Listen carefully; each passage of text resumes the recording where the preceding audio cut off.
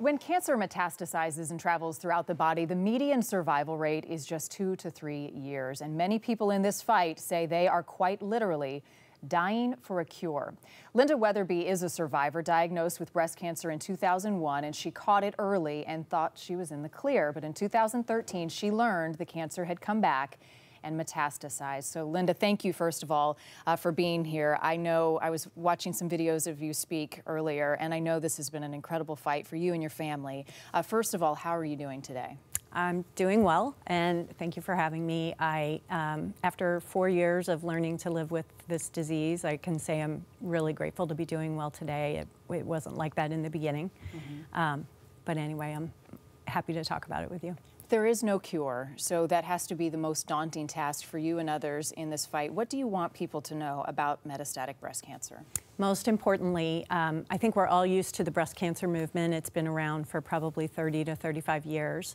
The number of deaths every year has remained unchanged in the last 30 to 35 years. It's roughly 40,000 a year. And the reason why is because we haven't solved metastatic breast cancer.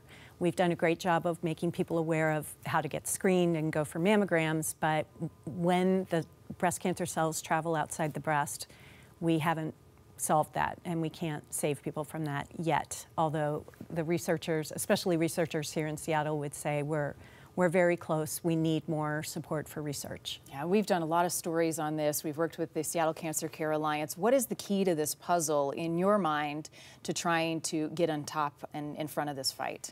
Well, the risk of metastatic disease is, is way bigger than anybody talks about in the culture of breast cancer. Um, possibly as high as 30%, and only 7% of research dollars go toward metastatic research. We need to bring those numbers closer together and drive more research toward metastatic disease, which will benefit all stages of breast cancer. And part of it is getting involved and trying to educate the public. So the Northwest Metastatic Breast Cancer Conference is this Friday and Saturday in Seattle. This is a very big deal.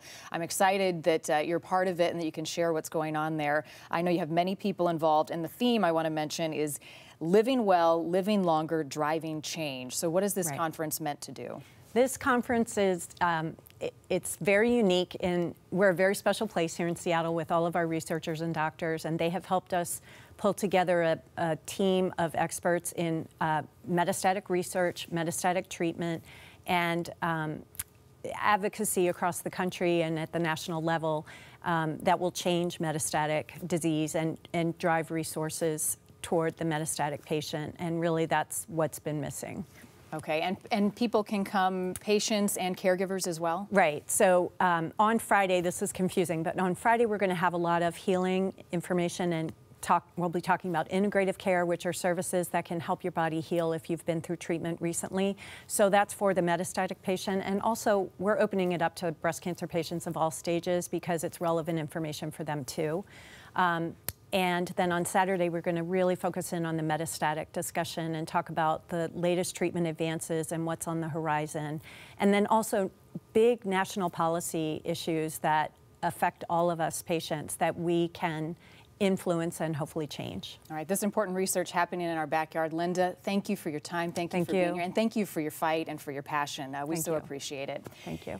The Northwest Metastatic Breast Cancer Conference, as Lynda said, is Friday and Saturday. The sessions are open to breast cancer patients, uh, specifically to metastatic patients on Saturday. They will be live streaming both days, so if you are in treatment and you'd like to watch, uh, we encourage you to do so. We will post a link on how you can get more information on our website. Go to q13fox.com.